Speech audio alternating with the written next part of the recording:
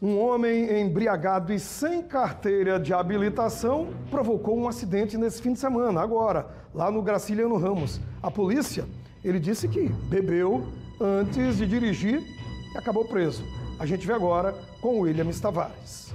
Agentes do programa Ronda no Bairro fizeram registro de uma ocorrência de embriaguez ao volante na noite deste domingo. E vamos obter mais informações ao conversar agora com o Sargento Bandeira. Sargento, onde foi que aconteceu este fato?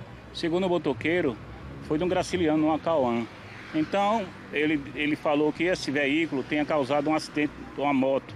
Então, fizemos a volta da viatura e fomos até, até a, a, viatura dele, até o carro dele. Então, quando abordamos ele, ele realmente ele disse que tinha bebido e tinha causado acidente. Só que ele disse que quem bateu foi o rapaz com a moto no carro dele. Ele apresentou alguma resistência no momento que foi abordado? Não, não, não, resistência nenhuma. Tudo normal. Autuação, embriaguez ao volante? Embriaguez e sem habilitação, sem CNH.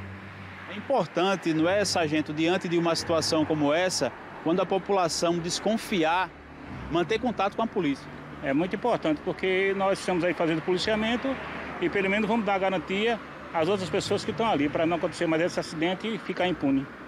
A primeira informação que chegou para os agentes é de que teria acontecido um acidente. Exato. Só que não, não.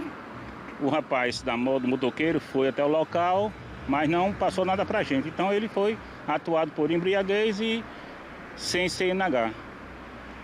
Ok, sargento, muito obrigado, viu, pelas informações. Ocorrência que foi atendida pelos agentes do programa Ronda no Bairro. O homem com suspeita de embriaguez foi trazido à central de flagrantes do Pinheiro, William Chavares.